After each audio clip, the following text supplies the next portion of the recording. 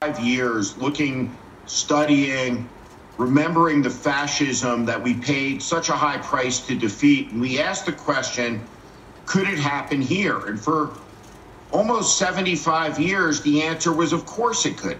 Never, not in the United States of America. But we see the entirety of the Republican Party, every member of Congress, really with the exception of Mitt Romney, has completely subordinated their agency, their patriotism, their common sense, their judgment that reveres Donald Trump and will defend anything that he does, no matter how indefensible it is. And so we think about Donald Trump going to Mount Rushmore. That's not his place. In the shadow of some of our greatest leaders, his place is at Stone Mountain in Georgia with the leaders of the failed slave state, the Confederates, and their mythology as the country's trying to finally put it down and to move on from it. And so Donald Trump's priorities, every one of them seem to be aligned with the proposition of American weakness. He's weakening the country.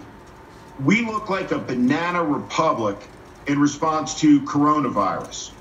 We are the epicenter of its death and suffering in the world. We are the most mismanaged country with regard to dealing with it in the civilized world, without any question. We look at the whole spectrum of this administration's actions from the caging of children on our border, from the destruction of our values, the checks and balances eviscerated, our constitutional norms assaulted, the rule of law attacked, all of it in a stunning moment. And the question now is who will stand up for the United States? Who will fight for America? Because in the end, now, the American people have to do the job that our political leadership has not done.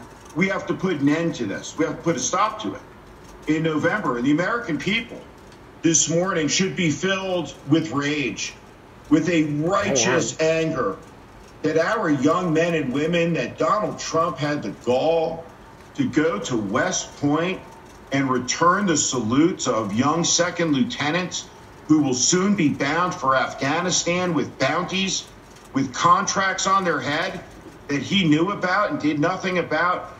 I can't imagine that there has ever been a more shameful moment around the office of President of the United States in the entirety of the history of the country. We are in America's most rancid era because we have a president who is fundamentally anti American. He doesn't understand our ideas, our ideals. He doesn't understand that it's his job to be part of the struggle to close the gap between our reality and those ideas and ideals to do the work of Americans to make our country more just. It is a truly, truly despicable hour in the history of our country.